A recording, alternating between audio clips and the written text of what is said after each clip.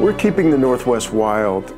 We've had great success protecting the large wild areas in Washington, southern British Columbia, and even success connecting them together with habitat corridors like we did across I-90. As the climate changes, big landscape level connections like that are essential.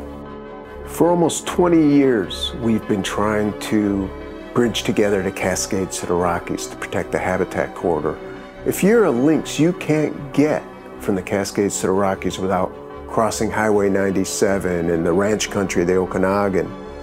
But then you're in the Kettle Range, which is wild country if we can permanently protect it. And that gets you most of the rest of the way to the Rockies. So we're here in the Tunk Valley of Okanogan County in north central Washington. And this is really the heart of a corridor that stretches from the Rocky Mountains all the way through the Kettle Range to the Okanogan Valley, up to the North Cascades and the Loomis Forest and North Cascades National Park. Conservation Northwest staff have been working closely with local landowners, ranchers, and farmers, with agencies in the state to preserve critical wildlands, keep working farms working and intact so they can continue to provide benefits for both people and wildlife, and ensure that we have safe passage under Highway 97 so wildlife can cross from the east side of the valley to the North Cascades on the west. What we got done this summer and fall was to improve the passage for deer under Janus Bridge, so it really serves as an excellent underpass now. We also put in some fences that help funnel the deer towards that underpass. Why do all this effort right here? There's a ton of science that supports this spot is the main connection between the Cascades and the Rockies. Wildlife pass through here, all kinds of different species, and it's evident by the amount of deer that are killed on this highway every year. But as soon as we put the fence in and improved the underpass, we started seeing animals come under the bridge.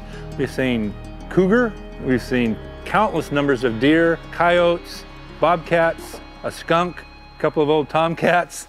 It's amazing how many animals are already using what we've built here. Working with the folks around here, if you didn't have their support, you couldn't get anything done. And you also get a lot of knowledge out of the people that have lived there their, their whole life. We have to listen to them, and if we do, I think we come out with a better uh, project in the end. In the Kettle Range, we have species like Canada lynx, we have habitat for grizzly bear, we have habitat for wolverines. You have these amazing secluded landscapes with these open grassy hillsides or these gorgeous dense cedar forests down the bottom. You have a very big diversity. I am Tiana Luke, and I'm the Northeast Washington Conservation Associate for Conservation Northwest, and I'm based out of Deer Park, Washington. We are a member of the Northeast Washington Forest Coalition. It's actually a coalition with foresters, with timber industry, with conservationists all working together. For me, working with local communities means that the people that I work with are my friends. I make it a point of my work to have the empathy to see what other people in the community really need because you can't have a healthy forest, you can't have awesome forest recreation or aquatic restoration if your communities aren't thriving. You can't link together populations of lynx or wolverine between those large mountain ranges without permanently protecting the kettle crest. The more permanent, the more legislated our protections, the more likely they'll, they'll be here for generations. There's amazing recreation opportunities there. And people like Bobby Whitaker are working together to promote recreation and conservation. I'm president of the Ferry County Rail Trail Partners, which is a, a nonprofit group that came together to preserve our rail corridor and convert it into a rail trail. Ferry County is swimming in public land here and it's underutilized, I think, from a recreational standpoint. You've got the Kettle Crest, which is part of the Pacific Northwest Trail. And when you go up to the Kettle Crest, you know, there's still no one there. Working in the Colville National Forest on recreation with the different clubs and groups, you can see how everyone's coming together to make it work out here. And Conservation Northwest have played a key role in everything that's happening out here, everything that's happening that's positive out here. A lot of the collaboration work that we do on this forest isn't easy. We have disagreements with other members. We may not always see eye to eye, but we keep coming back to the table and we keep trying to find common ground. And that's part of the reason that Conservation Northwest is so effective in these areas. We've really got things moving.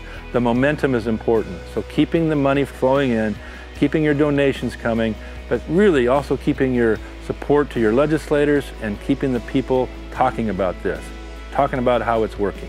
And as conditions change, as our climate changes, as we see large fires and development and human infrastructure on this landscape, it's critical to preserve that corridor if we want to see species like mule deer and Canada lynx and wolves persist into the future. That's the kind of work that Conservation Northwest is getting done, and it's what's going to keep the Cascades to Rockies corridor intact for future generations. Well, at Conservation Northwest, you might send your check to an office in Seattle, but it's keeping Jay protecting sagelands in, in the Okanogan, keeping Bobby in the next county over, bringing together recreation leaders for conservation. It's keeping Tiana helping protect and restore our forests. That's a lot of bang for your buck. Well, none of this work would be possible without such generous support from our community. Thank you. We couldn't keep the Northwest wild without you.